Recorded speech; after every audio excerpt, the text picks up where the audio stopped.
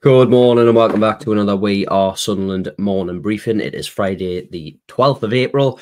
Um, this morning I'm joined by James Hunter. How are you doing, James? Good morning. How are you doing, Matty? Yeah, spot on. We've got the band back together once again um, from the old Chronicle days. Um, before we get stuck into things, um, We Are Sunderland is the place to be for red and white news at the moment. Um, we've got expert uh, opinion, uh, tactical analysis, and insight from former players. Uh, we're in partnership with the Fire Museum and Cost Specs Opticians. Now, this morning, um, I don't know if you've seen these these little bottles um, from oh, James. Very, kind of, the, very kind of you. The classic, the classic edition. So we've been kind enough to be gifted um, one of those. Um, it's in partnership with Jameson's, um, who are an official partner of the EFL and in partnership with the away days. Sort of, I don't know if you've seen them. They do like retro shirts and things like that, classic football shirts. Um, so we've been kindly gifted um, one of those. Um, they are doing a night at Quinn's Bar um, just to sort of go through because the shirt in question is the shirt that we gave away um, earlier this week, um, the 1992 FA Cup final shirt. There is a night being held at the Stadium of Light um, at Quinn's Bar. Um, so there's more information over on Sunderland's website, you know, with a Q&A um, with former players. So, for example, Kevin Ball, um, I know Gary Bennett, Gordon Armstrong, and Brian Atkinson will be there. Um, it is a ticketed event, so if you are interested, head over there to Sunderland's website and have a look. And I'll just quickly put that down. Well, before we get stuck into things, I'll just quickly touch on the other night at, at, Leeds United. I mean, on the face of things, what do you make of that result, James? On on paper, I was down at Elland Road and I thought it was it was an improved performance from what we've seen. It did, it, you've got to sort of remain balanced, I think. And yes, it was a really good away display. Um, I think that's the first time Leeds have failed to score at home since September. Um, it's the first time I think they failed to score since December, if I'm right. So pretty good statistics on that side of things.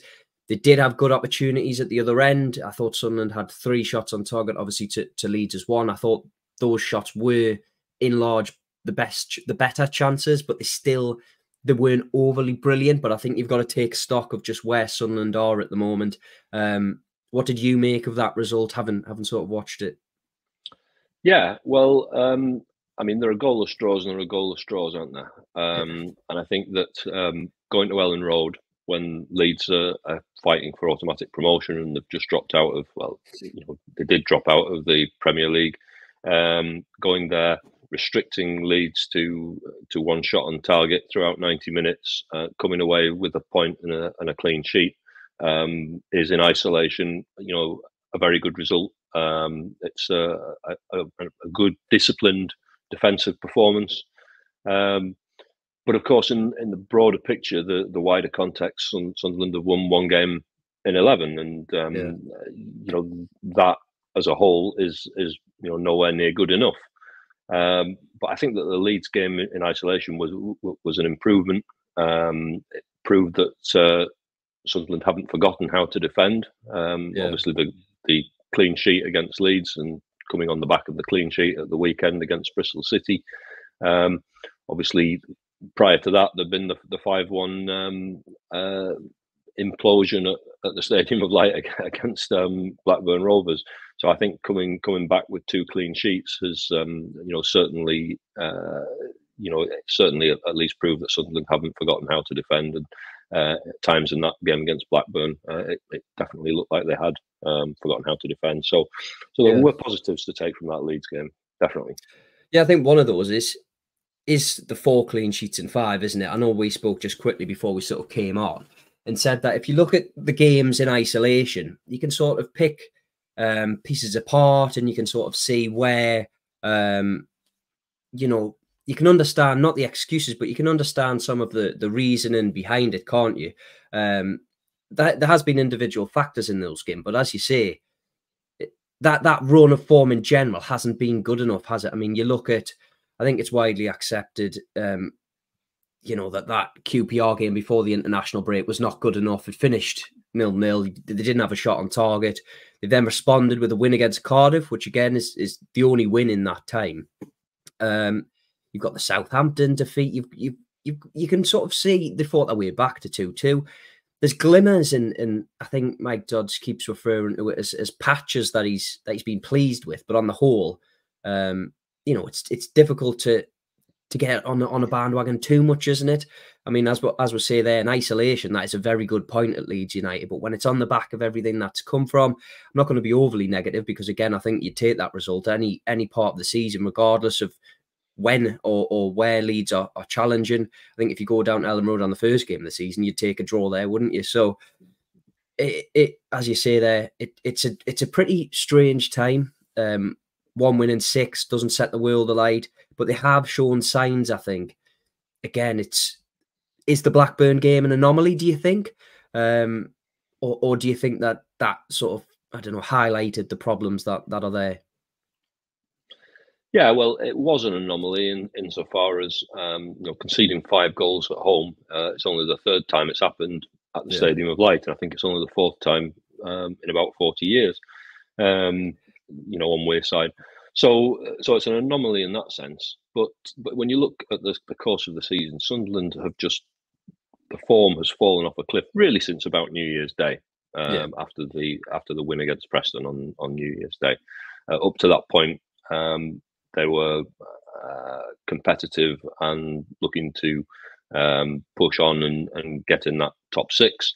Um, results started to fade away. Um, they um, they still were up and around the top six, within reach of that top six, probably until about mid February, and then it really started to to slide. Um, and and now, of course, they find themselves in, in mid table. Um, so when you look at, at, any result, yes, individual results like the Leeds result, like the Cardiff result, you can look at those and you can find positives yeah. in in those. But um, but as a whole, the results just haven't been been good enough. Haven't been anywhere near good enough for uh, either in comparison to to last season, which which Sunderland were obviously trying to emulate and, and improve upon, um, or you know, for for this season in in and of itself. Um, so there are a lot of lessons that the club need to learn this um, from this season and uh, and use those next season to uh, to improve and, and move a step forward just had a message through there from Martin. Thanks everyone who's who's messaged so far. He's watching on in Turkey. Well, put it this way, Martin, I'd rather be where you are, where where hopefully the sun is shining. Um, but as you say there, comparing it to to last season, that's always going to be the you know the, the the sort of stick in the sand to compare to, isn't it? I mean, especially if we sort of bring things in in a round circle to to the game this weekend the trip to West Brom last season with Dennis Cirkin's brace, and it was one of the final few games. I think it's almost exactly a year since since they last went down there. That felt like a real sort of catalyst for the final sort of push that that effectively got Sunderland over the line. You you were there that day. Yeah. There's been such a huge sort of change in in in mood and and, and feeling around the place. I mean, looking back to that day, I mean, do, do you remember? I don't know the the sort of feeling around the squad. There was a real feel good feeling at that time, wasn't there? There was. Um, Sunderland were a bit of a role. I'm trying to remember, as I said, as I said to you before we we started. Sometimes um, it can be difficult to to recall individual games. Um, I think Sunderland were on uh, in the midst of what ended up of uh, sort of a, a, nine game unbeaten run was it at the end of that season, something something yeah. like that to go into the playoffs. Um, and uh, Sunderland uh, went to West Brom. West Brom were one of the teams on that day that were, you know, had had genuine top six aspirations of, of their own. And I can remember the look on the faces of the other journalists in the um, uh, in the press room at the Hawthorns at full time. You know, it was a, a, catastrophic result as far as their yeah. hopes um, hopes were concerned, uh, and it pushed Sunderland back into the top six um, and obviously um, that was where the, where they ended up uh, um, in the final analysis. It was a very important game. It, Sunderland came from behind that day. I think they, they fell behind to um uh, was it a penalty? I think on the yeah, half time. Swift, yeah, yeah, and um, and obviously two goals from Dennis Cirkin in the second half turned turned things round. Um, so it was a real sort of statement from Sunderland. They were, despite falling behind, they did not um, capitulate. They didn't uh, feel sorry for themselves. They came back, got on terms, and then ultimately uh, um, won the game. And and it was that kind of spirit that the that the club had at that time, that that refusal to be beaten, um, that really carried them over the line and, and and saw them finish that that season in sixth place. Yeah, it's interesting as well. I'll just quickly run through the team from that day. So you had Patterson, Gooch at right back, Hume at centre half, or nine centre half, Cirkin left back, Neil and Ekwah in the middle, Diallo, Ba, Clarke, and Gelhardt up top. Now, as much as we've spoken about Sunderland's injury issues this year, and it is, of course, fair to talk about, Trai Hume actually started that game at centre half. So it's not as if Tony Mowbray went into that run of fixtures. Was there some good fortune to it? I suppose you could either argue both ways. But it's, you know, the, the, the players that I've listed there, that it's nearly half a team that's that's different. I mean, Dennis Cirkin has, has hardly played this season, and I know we've spoken to Mike Dodds, etc. He's been a big miss, hasn't he? Uh, yeah, he has. He's, he's been a, a huge miss. Um, you know, they, they've they've not managed to to have their first choice players. Um, certainly in that left back position. Um, more recently, there's been Leo Hjelde playing there, who is not a left back by any stretch of the imagination. He's done a job in there. Obviously, Aji Alese can uh, yeah. uh, can play there, but he's only recently come back from from injury. Um, uh, Niall Huggins has played there, but he's been out long term yeah. with injury. So, so they really have been short of um, of a, a, natural left back uh, all season with uh, Dennis Cirkin's injury. That's been a huge problem. Um, but I know that, that Sunderland have got a long injury list now. I mean, just just starting to, to clear one one or two players coming back, of course. But um, you know, in, there has been a, a long catalogue of injuries. But there were plenty of injuries last season as yeah. well. Um, you know, the off the top of my head from the team that you just read out, I mean, there's no Aji Alese in there, no Corry Evans yeah. in there, no Ross Stewart in there. Um, you know, the, there's a huge. I don't think was was Dan Ballard mentioned on that team. Uh, I don't, no, I don't think so. He was missing in that game for for um, whatever reason. Um, so so there were plenty of players missing last season. Um, and Tony Mowbray had to his little uh, phrase was, you know, have to find a way, and and yeah. that's what Sunderland have had to try and do this season as well. Um, unfortunately, they haven't been able to find a way. Um, so you know that, that seems to be the the key difference between this season and last. Um, Sunderland managed to find a way last season, and, and they haven't done uh, all too often this time. Yeah, I think when I've just obviously compared the last five um, games from the two sides, Sunderland and West Brom, I think Sunderland have picked up six points from five. West Brom have picked up nine points from five. But if you look at West Brom's sort of run of form over the last 10 games, they're unbeaten. So I mean, that sort of epitomizes a Carlos Corberán side, doesn't it? I mean, they're very difficult to to beat. We saw when they finished in the playoffs with Huddersfield that he, they, they don't concede very many goals, and that's a similar sort of case for West Brom. I think if I just quickly double check the table, they're on 72 points, Norwich on 68. I mean, I think uh, Coventry in seventh. Obviously, they've got a game in hand on West Brom, but a win for West Brom against Sunderland could and probably should all but secure their playoff um, sort of hope aspirations for, for the end of the season. I mean, if we quickly touch on that top sort of six, Leicester, Ipswich, Leeds, Southampton, West Brom, and at the moment it's Norwich. That is a very competitive top six, isn't it? Um, you've got. I, I was listening to the What the Fall podcast, and they were talking about obviously the the teams that have come down, and this is the first real season where I think that all three Premier League sides who have come down have made a real sort of fist of things at the top.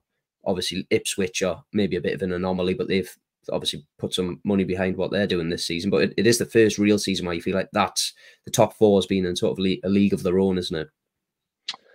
Yeah, it is. Um, of course, um, you know Ipswich are the uh, Ipswich are, the exception in there, having been the team that's come out of League One, um, and that Ipswich of having the season this season that that you know Sunderland would have dreamed of, coming straight out yeah. of League One and immediately challenging promotion to the Premier League. Um, so they, they've done an incredible job, but obviously they've been uh, operating on a on a large budget, and they can't afford to fail if they don't win promotion either automatically or um, uh, or via the playoffs um, then there's going to be there's going to be a reckoning at Portman Road um, because they've uh, they've uh, um, spent an awful lot of money. Um, and how they sustain that is uh, going to be very, very interesting. Um, but as far as the, the other teams, you know, Southampton, Leeds, and, and Leicester are concerned, um, yeah, they they really have sort of swept swept the league for, for long periods. I mean, Leicester were were way out in front and have been sort of uh, hauled back. Um, Leeds have started fairly tamely, but have, have you know kept rising and rising and rising, and they're right up there now. So you've sort of got Leicester, Leeds, and uh, and Ipswich um, vying for the two automatic promotion places, and then immediately behind them you've got Southampton. So um, I think I think Southampton. I, I, can't remember how many points Southampton have got now, but I think that they're probably not in the conversation real realistically for uh, automatic promotion. Is that, is that right? Um, yeah, they're on seventy-eight, but they've got two games in hand. I think Leeds are in third right, okay. with with eighty-seven. So I mean, they've got very slight sort yeah. of hopes of getting in there, but it'd be quite quite a bit big ask. Yeah. Um, so yeah, the, they've got they've got a, an opportunity, but they can't. Um, you know, there's not there's no margin for error for Southampton. They're more likely going to end up in in the playoffs along with one of those three that we that we just talked about. So that's two of your playoff places accounted for already. Um, and then you know West Brom um, and Norwich at the moment, but there's a big chasing pack not far yeah. from uh, not far behind. So yeah, it, it's fascinating. It's a fascinating battle. The shape of it is very much like uh, like last season, isn't it? Where you you've got um, you've got a race for for the automatic yeah. promotion, then you've got a couple of teams that are well established in the playoffs, and then you've got you know a group of teams that are trying to get those uh, those last couple of playoff places. Um, and Sunderland were were obviously um, uh, the team that that um, booked their place on the last day of the season last season. Um, so it is, it's a fascinating thing, but you can you can see that at the top of the, the championship now, just as, as everybody uh, always expected, um, the money yeah. and the budget from the from the teams that have dropped down from the Premier League means that means that they are you know almost literally in a class of their own. Yeah, I think if you look back at the players that Leicester sold, obviously Maddison, I think if you put just him the value of him, I think, was it 50 million, something like that. That's almost more than Sunderland's entire squad is probably worth. Now, that's not a slight on Sunderland. That's just the reality of the situation of where they've come from. But again, if we sort of go back to earlier this season when they played West Brom, as you say there, you touched on at the start of this sort of show. Sunderland were right in the playoff picture at that point, and then wins over Leeds and West Brom sort of felt like a bit of a statement, didn't it, at the time, to be like, oh well, maybe they can, maybe they can sort of have a repeat of last season. Maybe they can go one further. It hasn't panned out that way since then. No, it hasn't. Um, I mean, obviously the the wins over Leeds and West Brom um, came under Mike Dodds, uh, back-to-back wins in the space of a few days at the Stadium of Light in in December. Um, and at that time, I mean, those were two games, two very very difficult um, home games, and uh, you know, to to win both and to to come away with two clean sheets and two victories in those two games. Uh, really, that I think that that played a big part in at that time, at that point in December, um, changing fan perceptions of Mike Dodds. Um, yeah. When he was initially when he was initially put in in charge, when Tony Mowbray was sacked, um, a lot of people um, you know, understandably, um, were were pretty fearful about what might happen because they remembered his previous um, spelling case caretaker charge when uh, um, uh, in League One when when Sunderland had lost against Cheltenham and against yeah. uh, whoever else it, was. Was it Doncaster? I can't remember. Whoever it was. Anyway it yeah. was um, it were teams at, at, the very bottom of the uh, um, at the table. And um, and people thought, oh, here we go again. But those two games and those two performances at the Stadium of Light really made people think twice and think, all right, okay. Um, and in fact, there was there was even some people at that time saying, well, you know, on the back of those results, um, wouldn't be the worst thing in the world to stick with Mike Dodds for for a while because yeah. Sunderland were up there. They were, they were challenging. I mean, they weren't far away um, from the playoff places when Tony Mowbray was sacked, which is one of the many reasons why that was such an incomprehensible decision um, in and of itself. I can't remember off the top of my head were they three or four points outside the top top six. Then it, they weren't far behind anyway. They were within touching distance of the of the top six. Um, but as we've seen since then, as, as I mentioned earlier on, from the turn of the year, obviously Michael Beale then being installed um, uh, in December, um, uh, under Michael Beale's watch, the form started to tail off, and really Mike has been unable to arrest that since he came came in in, in the middle of uh, uh, middle of February time. So um, yeah, it's been it's been very very tough, and it's been sad to see uh, Sunderland's chances slide. It's come along alongside that backdrop of injuries, which of course haven't haven't helped. But Sunderland aren't the only team with injuries. You know, the, the you know too much can be made of that. I think at, at times, yes, they've got a bad in, injury uh, uh, record, but so have other teams. And Sunderland have had bad injury records before, and you, uh, there's nothing you can do about it. You just have to uh, you know battle through it. Yeah, um, I think just as I touched on earlier, obviously this game this weekend, it's it's another tough one, isn't it? It's West Brom have got plenty to play for. With as I said there, they can almost all but mathematically secure their place. I think in the top six um, with a win over Sunderland this weekend. Sunderland nothing to play for, but I suppose you'd be encouraged by the the sort of the performance at at Elland Road heading into this weekend. Yeah, um, of course. I mean, Sunderland are going to need another kind of performance like that. Certainly defensively, they're going to need to be disciplined yeah. and keep keep their shape, um, and they're going to need to throw bodies in in the way of the ball. The the big question, of course, they proved they can do that against uh, against Leeds and and in other games um, recently. They've kept clean sheets. The big question is, what are they going to do at the other end? How are they going to yeah. um, create chances? How are they going to give themselves uh, an opportunity to win the game? That's what they need. Um, of course, having Jack Clarke back in the starting eleven, um, you know, is is a important boost for them. They've had that in the last two games, but against Bristol City and Leeds, they haven't managed to score. But at least with Jack Clarke being being back in, in the side for, for these last two games, and I assume injury permitting, fingers fingers crossed, um, he'll be starting again this weekend at, uh, at West Brom. Um, you can you can tell, even though they haven't scored in those last two games, as I mentioned, um, there is definitely uh, they look a more of a potent threat. He carries yeah, the ball. He gives he gives teams something to worry about. He, he gives them better balance. Um, the you know the issue, you know, we, how many times have we discussed it? It's, it's a it's a weekly event, isn't it? The, there's there's just nothing um, up, up front. There's just nothing, um, and you know, we talked about it so many, so many times. Um, uh, I'm, I'm, sure that, that fans must get tired of us banging on about it, but that is the nub of the issue. That that is, um, you know, the the biggest single factor in, in why Sunderland are 13th in the table and not, you know, sixth, seventh, fifth, yeah. you know, somewhere around there. I mean, it's interesting. Again, Mike Dodds actually mentioned it again in his, um, I think it was pretty much press conference ahead of um, obviously the trip to Leeds. He said he would like more options in that area, and I think it's now, as you've said in, in the piece that you've done this morning over on We Awesome, and you can subscribe for one pound for six months and unlock that. Um, so I won't give it too much away, but obviously you've touched on that over there, saying that, that there's a bit of an acceptance now. I certainly feel like there is from those above that this year maybe it's just been too young. Um, I suppose the frustrating thing is is that in the summer and January they didn't really look to assess, sort of address that. Sorry. I mean, the argument that Callum Styles has played over 100 appearances at this this this the championship. I mean, he's still only what 23, 24. Can you say he's experienced? Mm, I, I, don't really think you can. Um, that's just my personal opinion, but I think it's certainly an area that they need to address, isn't it, in the summer?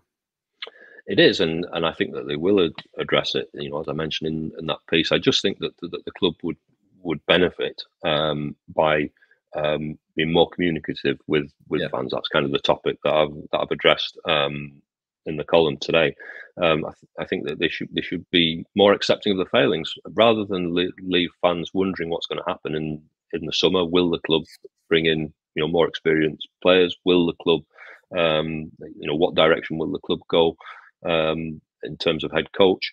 Um, why not talk about it now? Talk about your plans. Let plans in. Let fans in on on the plan. Um, don't have to mention names. I'm not expecting them to come out and say we're yeah. signing this player, this player, and this player, and that's going to be our new head coach.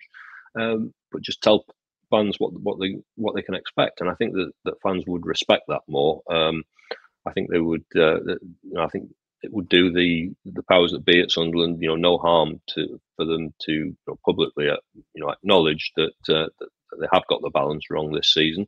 Uh, I think everybody can see it, so why not say it? You know, hold your hands up, say we've got we've got the uh, the balance wrong this season, and we're going to put that right next season. I think that would give um, fans uh, optimism and, and hope that something's going to be done to address this. The worry for fans is that when there's sort of stony silence from from the club, yeah. um, you, fans fans think to themselves, well, do they realise they've got this wrong, or do they think everything's just fine? Yeah. you, you, know, uh, is there going to be a change of direction, or are they just going to keep keep on with more of the same? Um, you know, I do think that they'll tweak tweak things this yeah. this um, and uh, and if that is the case, then it'll do the club no harm at all to, to say so. And if the club isn't going to tweak things, if the club does think this is fine and and there's nothing to worry about and everything's under control, then come out and, and justify that decision to fans too. Um, you know, say so and and explain why. Um, you know, I, I just think that, that the communication could be better. Yeah, certainly that's something that I've said in, in sort of months gone by. Um, just to echo those thoughts. I mean, especially when you know, Mike Dodds and Co were going through that run where they didn't they, they didn't pick up a win prior to Cardiff. It, it, it makes life difficult for him as well because then he's as far as we're aware will drop back down into the first team and, and be a coach again. So you then sort of not tarnish on reputations, but you're not doing anything to protect people um, sort of like Mike Dodd. So obviously we've had a couple of, of comments through. Um, Sunderland just announced that their partnership with with Hummel for next season. Um, if you at Elland Road, obviously they've done a few. There's a few stickers sort of went up um, around Elland Road with a QR code. Um, so they've got a multi-year partnership with um, Hummel, which will start. Um, they've said it's a five-year term um, sort of deal, which is one of the largest commercial deals in the club's history, which is good news. Um, so as we said there, look, Hummel made one of the the kits, um, the 1992 kit, so that's promising heading into next season. Um, we'll we'll draw a line under things um, just in a in a second, um, just because obviously we've got the press conference coming up shortly. Um, but yeah, well, what do you make of it? I, I don't normally tend to to sort of go in the way of of, of making guesses or, or, predictions for for how I think the result will go this weekend. But how do you think Mike Dodds will sort of line up? Because it's it's an interesting talking point because he's gone to a back five at Leeds. He went to a back five against Leicester, and that was one of their better performances, albeit they didn't get the result. It's something that he did in his first spell. Um, do you think that Sunderland squad at the moment sort of like lends in, into that? Um, well, obviously, it wasn't built to play that way. Um, yeah. It was built to play a you know for a four two three one. That was the uh, the original vision, and I know that. Um, uh, uh, how shall I put it? Um, Tony Mowbray was discouraged from playing five at the back. That wasn't it wasn't the um, the wish of of, um, uh, of, of the club to to to play in that system and shape. Now, when Mike Dodds was was in temporary charge in December, um, he was given license to use five at the back if that was what he wanted to do, if he thought that was the right thing to do, and he did use it, and it worked to, to good effect as we as we mentioned against Leeds, and I think they did it against West Brom from memory as well, did they? In in December, you'll remember better than me, probably, Matty. But um, but yeah, they certainly did that in uh, in December, and it worked to to good effect. Um, having worked again um, this time, uh, it wouldn't surprise me at all if they if they play five at the back down down there. Um, uh, they can't afford to to go down there and, and defend as they did against Blackburn. Um, so it might be a case of trying trying to keep it tight with a you know that strong defensive shape and, and nick a goal. But they've got to try and find a way to create more um, than they did at Leeds. Um, uh, how they do that, how uh, you know how you uh, adjust the balance, turn the dial slightly, um, so that you've got a little bit more attacking threat, but without losing your defensive solidity, is of course you know one of those great uh, you know footballing conundrums. It's uh, easy to say, yeah. not so easy to do. Yeah, there's an interesting debate to be had over on the right hand side of the pitch as well, because um, Chris Rigg has obviously played there, um, sort of drifting in field and rolling in field, and he found decent pockets of space at Elland Road. But obviously, Patrick Roberts is now back fit. Abdoullah Ba's dropped out of the squad. He was back in it for Leeds. There's sort of a at the moment there's there's a real sort of battle for, for that right hand side there. And I think there's a couple of players that can that can stake a claim there. Those mentioned, you've got Romaine Mundle who can also play over on that side. It feels like at the moment that I mean, at, at the minute that that Chris Rigg has that that slot, but given his age, they don't want to overexpose him to that. Um, what what do you think? I mean, I, I would just going off the last season. I think Patrick Roberts would tend to be the first name on that sheet, but it hasn't. He hasn't sort of hit the heights that he has last season. This season, has he? No, no, he hasn't, and um, you know that's been one of the the biggest differences, isn't it, this season to to last. Um, he wasn't performing particularly well at the start of the season. Then he spent a long period out injured, and he's only just recently come back. So um, we haven't seen this season Patrick Roberts at his best at any stage of, yeah. of this season. Um, so yeah, you've got different options down down that side. Um, I don't know whether um, I don't know how many times they will want to expose Chris Rigg in a sh- short space of yeah. space of time. Whether they'll they'll want to keep him there, whether they'll think at, at 16 um, that's asking too much of of a, a young lad. Um, so so they may well make, make the change. I mean, Patrick Roberts is the is the natural call, the easy call. He's the, ex- yeah. the mo- most experienced man. He's the he's the guy that's been there and seen it, and he's the guy that that can um, unlock defenses when when he's at his best. Um, and Romaine Mundle's a little bit of a wild card, really, isn't he? He's still uh, still settling in. He's still he's still um, searching for, for his best role and and see exactly how um, Sunderland are going to get the best out of him and where they're going to use him. Um, so they have got options down down that side. My own my own belief, um, I think that they'll probably probably go with um, uh, probably go with Patrick um, yeah. down at West Brom. That's sort of like the tried and tested um, thing. But of course, it all hinges on, as we were saying, it all hinges on what shape Mike Dodds is going to yeah. play, because that'll have a big influence as well of which of those three players that we just mentioned, which of those is most appropriate down that side. Yeah, thanks again for joining me this morning, James. Brilliant as usual. Thanks to those of you who've got your comments in. It's it's made for great talking points. Um, so we are Sunderland, the place to be for everything red and white, tactical analysis, exclusive interviews, and insight from former players. It's still just one pound to subscribe over on our website. If you haven't yet, make sure you head over there.